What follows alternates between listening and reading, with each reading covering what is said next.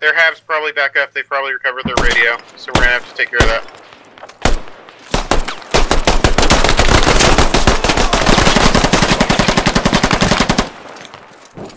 Grenade out. Grenades in there. Grenade.